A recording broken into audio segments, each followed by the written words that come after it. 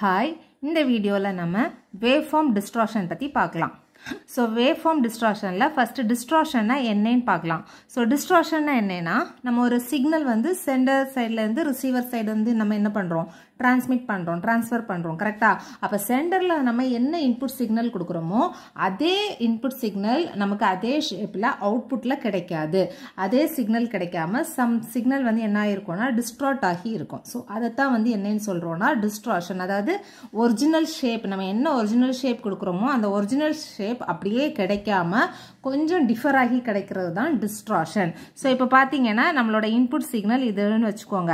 So output signal வந்து இந்த மாதிரி டிஸ்ட்ராக்ஷன் ஆகி கிடைக்கும். ஓகேயா ஸோ இதை வந்து என்னன்னு சொல்கிறோன்னா டிஸ்ட்ராக்ஷன் அதாவது change in the shaped output waveform corresponding to the input waveform when the the received signal is not exact shape of transmitted signal then the signal is said to be distorted. Okay so இப்போ waveform டிஸ்ட்ராக்ஷன்னா என்னன்னு பார்க்கலாம். So wave form distraction வந்து நம்ம இப்போ transmission லைனில் so நார்மலாக வந்து நம்ம ஒரு சிக்னல் வந்து சென்டர் டு ரிசீவர் வந்து டிரான்ஸ்மிஷன் வயா டிரான்ஸ்மிஷன் லைன் வழியாக நம்ம என்ன பண்ணுறோம்னா டிரான்ஸ்மிட் பண்ணுறோம் ஸோ டிரான்ஸ்மிட் பண்ணும்போது நமக்கு சம் டிஸ்ட்ராக்ஷன் ஆகுது. ஸோ நார்மலாக நம்ம டிரான்ஸ்மிட் பண்ணுற சிக்னல் வந்து எந்த மாதிரி சிக்னல்னா voice signal message signal video signal இந்த மாதிரி சிக்னல் வந்து டிஃப்ரெண்ட் டைப்ஸ் ஆஃப் சிக்னல் வந்து நம்ம என்ன பண்ணுறோன்னா டிரான்ஸ்மிட்டர் டிரான்ஸ்மிட் பண்ணுறோம் கரெக்டாக ஸோ டிரான்ஸ்மிஷன் லைனில் we are transmitting several type of signal so for example இப்போ நம்ம வாய்ஸ் சிக்னல் மட்டும் எடுத்துக்கலாம். ஸோ வாய்ஸ் சிக்னல் எடுத்துக்கிட்டோன்னா இந்த வாய்ஸ் சிக்னல் வந்து நார்மலாக ஒரு காம்ப்ளெக்ஸாக இருக்கும். அதாவது டிரான்ஸ்மிஷன் லைனில் வந்து இது எப்படின்னா நார்மலி காம்ப்ளெக்ஸாக இருக்கும். ஸோ இந்த காம்ப்ளெக்ஸ் அப்படின்னா மீனிங் என்ன அப்படின்னு பார்த்தீங்கன்னா இதில் மெனி ஃப்ரீக்வன்சி காம்பனண்ட் இருக்கும். காம்ப்ளெக்ஸ்னால் இதில் வந்து பார்த்தீங்கன்னா மெனி ஃப்ரீக்வன்சி காம்பனன்ட்ஸ் இருக்கும். அப்போ மெனி ஃப்ரீக்வன்சி காம்பனண்ட் இருக்குது அப்படின்னா நம்ம இப்போ டிரான்ஸ்மிட் பண்ணுறோம்னு வச்சுக்கோங்க.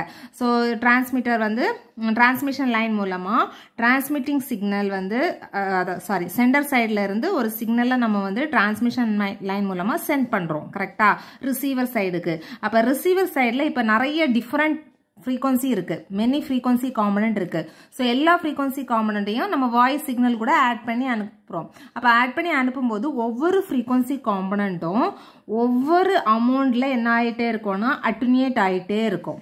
ஓகேயா? ஈக்குவல் அட்ரினேஷன் இருக்காது. சிக்னல் லாஸ் வந்து ஈக்குவலாக இருக்காது. So depends upon the frequency நமக்கு என்ன ஆகுதுன்னா அதோட சிக்னல் லாஸ் வந்து ஈக்குவலாக இருக்காமல் ஒவ்வொரு ஃப்ரீக்குவன்சி காம்பனண்ட்டுக்கும் ஒவ்வொரு விதமான அட்ரினேஷன் இருக்கும். அதே மாதிரி ஒவ்வொரு ஃப்ரீக்குவன்சி காம்பனண்ட்டும் ஒரே டைமில் போய் ரீச் ஆகாது. ஸோ சம் டிலே ஒவ்வொரு ஃப்ரீக்குவன்சி காம்பனண்ட்டுக்கும் டிலே இருக்கும். அந்த டிலே வந்து ஈக்குவலாக இருக்காது. புரியுதுல்ல? ஸோ இப்போ வந்து நம்ம வாய்ஸ் சிக்னல் வீடியோ சிக்னல் எதை எடுத்தாலுமே அது வந்து காம்ப்ளெக்ஸ் சிக்னல் சரியா?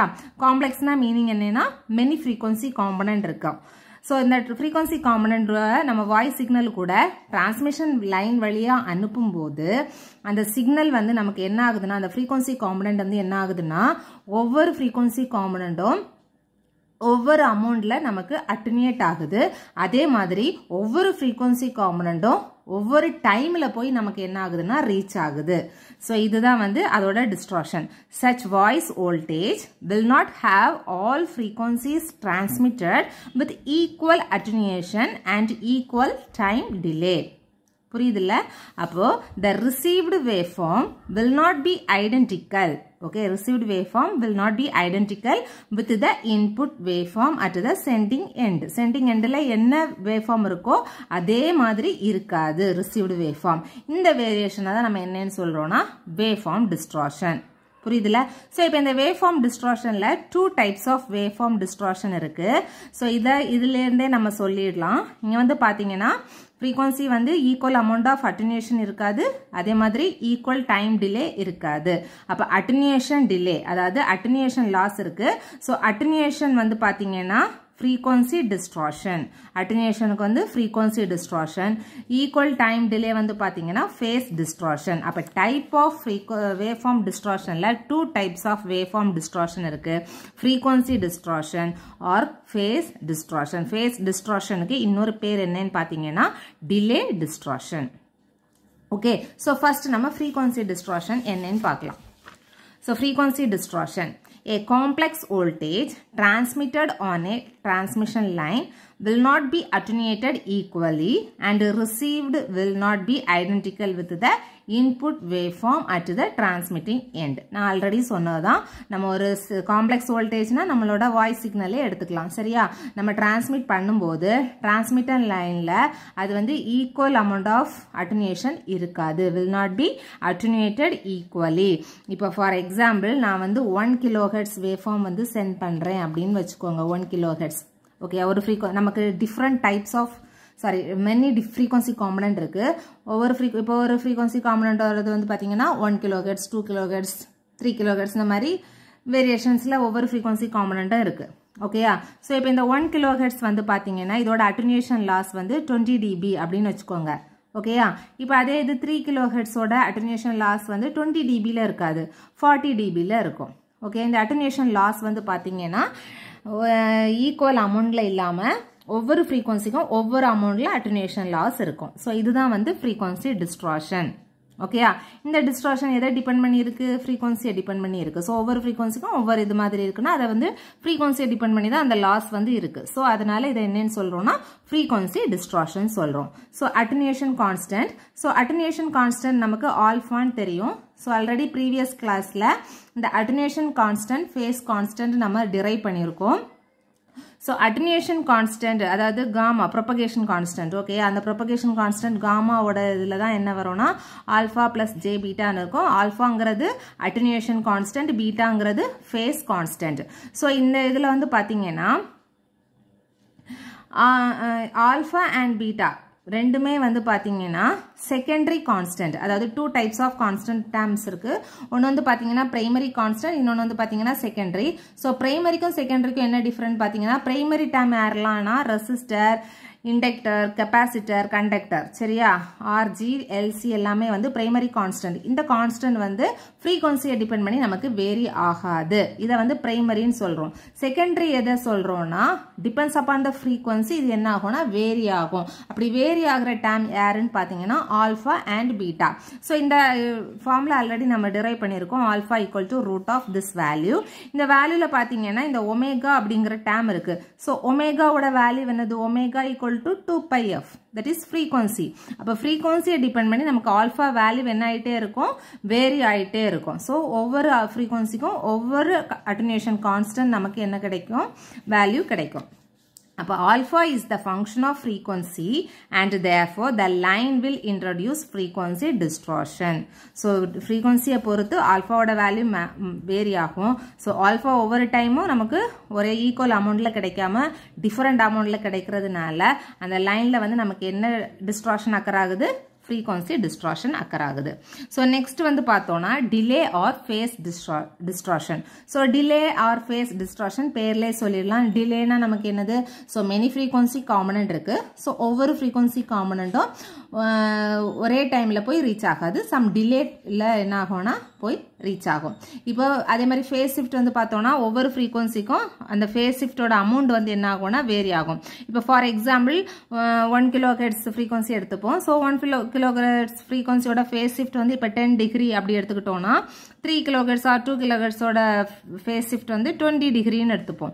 அப்போ ஒவ்வொன்றும் வந்து ஒவ்வொரு இதில் ஃபேஸ் ஷிஃப்ட் ஆகுது. ஒவ்வொரு டிஃப்ரெண்ட் அமௌண்ட்டில் நமக்கு என்ன ஆகுதுன்னா ஃபேஸ் ஷிஃப்ட் ஆகுது so each frequency will phase shifted in different amount ஓகேயா அப்போ for an applied voice voltage wave the received waveform may not be identical with the input waveform at the sending end okay so some frequency component will be delayed more than those of other frequency component சில frequency component என்ன ஆகுது இன்னொரு frequency component விட compare பண்ணும்போது இன்னும் delay time வந்து ரொம்ப ஹையாக இருக்குது ஸோ அதை வந்து நம்ம என்னன்னு சொல்கிறோம்னா ஃபேஸ் டிஸ்ட்ராக்ஷன் அப்படின்னு சொல்கிறோம் ஸோ ஃபேஸ் டிஸ்ட்ராக்ஷனோட ஃபார்முலா வந்து இதுதான்.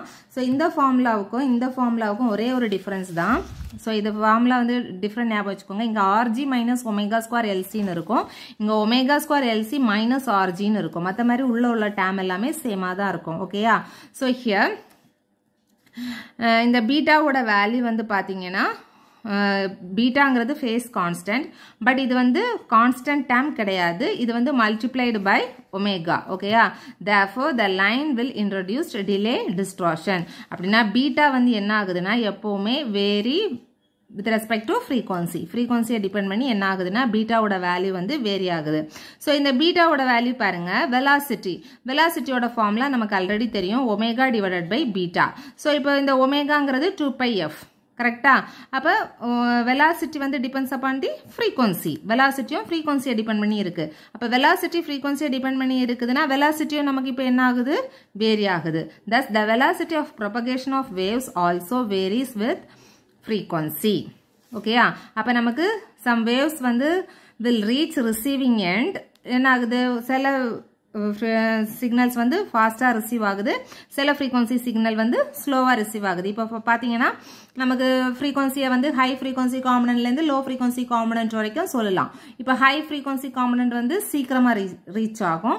லோ ஃப்ரீக்வன்சி காம்பனண்ட் வந்து அதை விட ஸ்லோவாக ரீச் ஆகும். ஓகேயா ஸோ இதை வந்து நம்ம டிலேன்னு சொல்கிறோம் So hence the output wave at the receiving end will not be exact shape of the input wave at the sending end. This type of distortion என்னன்னு சொல்கிறோம் phase distortion or delay distortion.